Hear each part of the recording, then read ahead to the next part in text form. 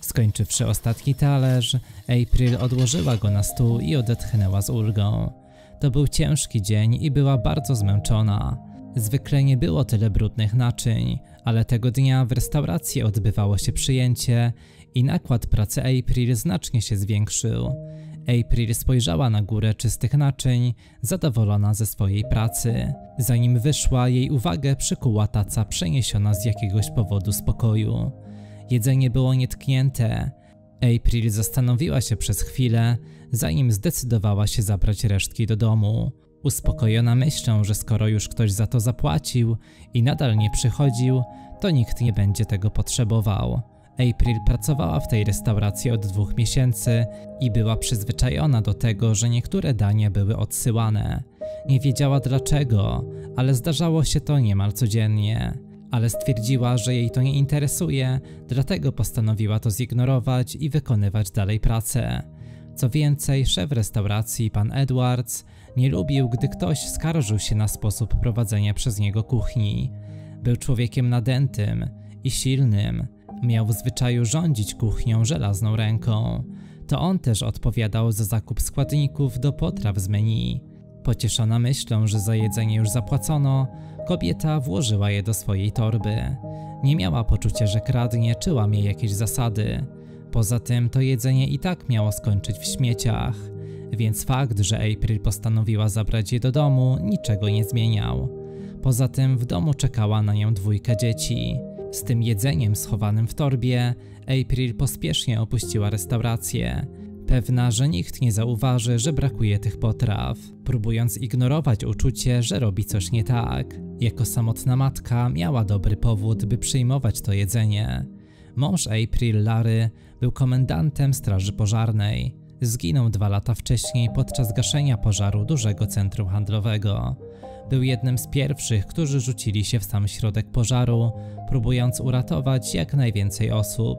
Dzięki jego zdecydowanej i odważnej akcji nie było ofiar wśród klientów centrum handlowego, ale niestety sam Larry nie był w stanie wydostać się z budynku i zginął pod gruzami, gdy zawalił się dach. April wciąż pamięta trumnę owiniętą flagą i smutne twarze kolegów męża, którzy przyszli pożegnać go w ostatniej podróży. Podczas pogrzebu coś w April się zatrzymało, jakby utknęła w złym śnie. Młoda wdowa była zdruzgotana niepokojem, który wypełniał jej serce i nie pozwalał się na niczym skupić. Wydawało się, że jej życie jest ukryte za zasłoną łez i bólu. Powrót do zdrowia zajął April około 6 miesięcy. Co najmniej tyle, ile potrzebowała na dostosowanie się do nowego życia bez męża Larego ale sytuację pogorszył fakt, że April została sama z dwójką dzieci i borykała się z problemami finansowymi, które należało rozwiązać. Billy i Josh mieli 6 i 7 lat. Świetnie się dogadywali i w razie potrzeby zajmowali się sobą nawzajem, więc w niektóre dni April mogła zostawić ich samych w domu. W inne dni sąsiedzi zajmowali się dziećmi. Choć April nie czuła się komfortowo prosząc ich o pomoc, i często starała się sama zapewnić byt swojej rodzinie. April często zmieniała pracę, zawsze mając nadzieję, że znajdzie coś lepszego. W ten sposób, w stosunkowo krótkim czasie, młoda wdowa zdołała opanować zawód sprzątaczki, pokojówki, a nawet obsługi stacji benzynowej. Jednak każda praca miała swoje wady. Pensja była zbyt niska lub warunki pracy nie do zniesienia i kiedy April straciła już nadzieję na znalezienie odpowiedniego stanowiska, Fortuna się do niej uśmiechnęła i znalazła idealną pracę. Ku zdziwieniu April została zatrudniona niemal natychmiast po rozmowie z kierownikiem restauracji, jako pomoc kuchenna. Praca nie była tak trudna jak się wydawało. Musiała jedynie pilnować, aby naczynia były szybko i dobrze umyte, a miejsce pracy zawsze było czyste. Zbliżając się do domu, April dostrzegła zapalone światło w oknach. Moi chłopcy jeszcze nie śpią, pomyślała z uśmiechem. Otwierając drzwi, natychmiast zobaczyła Josha i Billiego, którzy pobiegli do niej, aby ją przytulić i opowiedzieć o swoim dniu. Mamo, mamo! Josh znów miał bóle w klatce piersiowej. Tutaj, po lewej stronie, powiedział Billy z winnym wzrokiem. Przypominając sobie zbyt późno, że jego brat poprosił, aby nic nie mówił mamie. April zadrżała i spojrzała na niego z niepokojem. Wiedziała, że od kilku miesięcy miał wadę serca. Josh cierpiał na zagrażającą życiu chorobę, która została zdiagnozowana rok temu podczas rutynowej kontroli. A zasmuceni kardiolodzy powiedzieli April, że chłopiec potrzebuje operacji serca i że zabieg będzie kosztował dużo pieniędzy. Wychodząc z gabinetu lekarskiego, April wiedziała, że w jakiś sposób będzie musiała znaleźć pieniądze na operację Josha wszelkimi możliwymi sposobami. Zaoszczędzę każdy grosz, jeśli będę musiała, powtarzała sobie April w kółko każdego dnia, zdając sobie sprawę, że zaoszczędzenie takiej ilości pieniędzy będzie niemal nieosiągalne. Następnego dnia, gdy tylko April pojawiła się w restauracji, szef kuchni wziął ją na bok. April, wiem, że wzięłaś resztki jedzenia z ostatniej nocy. Nie zależy mi na tych daniach, ale nowemu właścicielowi restauracji na pewno się to nie spodoba, powiedział jej niskim tonem.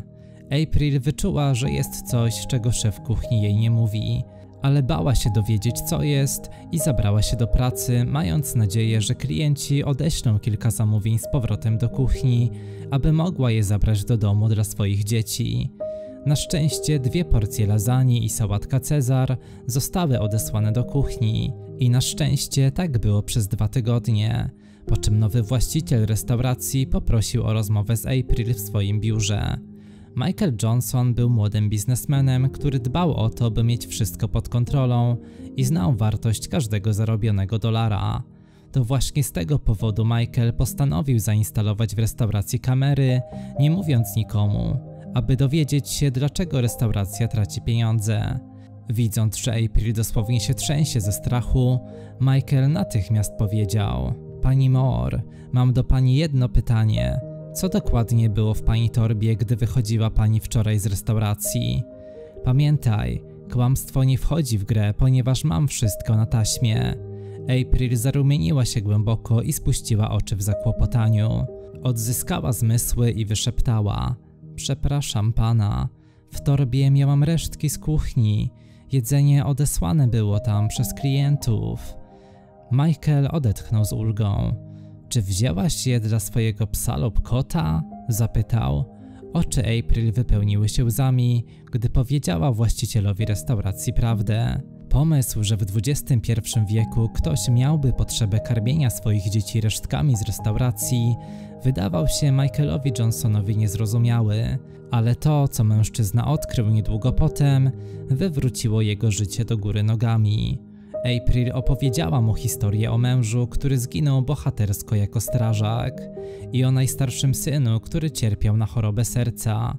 Potrzebował bardzo szybko pilnej operacji. Dlatego robiła wszystko, by zaoszczędzić pieniądze i pokryć koszty operacji. Michael spojrzał na April ze zdziwieniem i zadał jej bardzo dziwne pytanie. Powiedziała pani, że pani mąż zginął podczas gaszenia pożaru. Jak się nazywał? Larry Moore, proszę pana. Był komendantem straży pożarnej. Zginął w pożarze centrum handlowego. Michael Johnson westchnął i opadł na fotel, masując palcami skronie. Jego twarz wyraźnie szczerze zaniepokoiła się, co sprawiło, że April dostała ataku lęku, gdy mężczyzna w końcu opowiedział swoją historię. Wszystko zaczęło się 7 lat temu, gdy będąc młodym i niedoświadczonym biznesmenem, Michael Johnson stracił żonę podczas porodu i rozpoczął samotne wychowywanie córki, mając nadzieję, że zapewni małej Monice wszystko, czego potrzebuje. Michael skierował wszystkie swoje wysiłki na rozwój biznesu w nadziei, że da mu to niezależność finansową. Czas mijał, a żeby mieć pewność, że jego córka nigdy nie zostanie bez opieki, Michael zatrudnił nianię, która zakochała się w dziecku. Gdy Monika nieco podrosła, kobieta przeprowadziła się do miasta, dlatego obie często chodziły razem na zakupy. To właśnie podczas jednej z takich spacerów Monika, mała sześcioletnia wówczas dziewczynka i jej opiekunka trafiły do centrum handlowego, które zapaliło się w ciągu kilku minut od ich przybycia. To było piekło. Ludzie biegli, próbowali ratować się z ogromnej ognistej pułapki, a Monika i jej niania z pewnością zginęłyby, gdyby nie dzielny Larry Moore, któremu udało się utrzymać dach budynku na tyle długo, by wszyscy łącznie z nimi mogli się wydostać. W tym momencie, stojąc obok młodej wdowy po strażaku, który oddał swoje życie, aby uratować jego córkę, Michael zdał sobie sprawę, że to jego druga szansa na spłatę długu.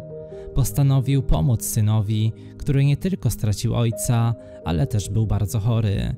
Przytulając April za ramiona, Michael obiecał pomóc Joshowi w operacji serca. Natychmiast zadzwonił na numer kliniki i do lekarza. Natychmiastowo wpłacił pierwszą ratę i umówił operację. Dziękuję panu, jest pan błogosławieństwem, szepnęła April ze łzami w oczach. Michael w odpowiedzi potrząsnął głową i obiecał, że pomoże jej w każdy możliwy sposób. Biznesmen dotrzymał słowa i w następnym tygodniu Josh był operowany w jednej z najlepszych klinik w Nowym Jorku.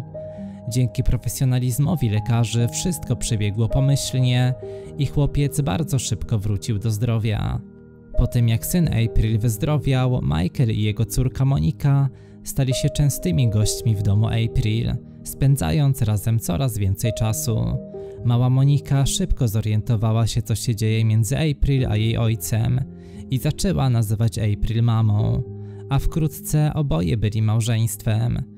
Po ślubie April i Michael rozpoczęli nowe życie, razem, idąc ręka w rękę w kierunku ich szczęśliwej przyszłości, jako silna, zjednoczona rodzina.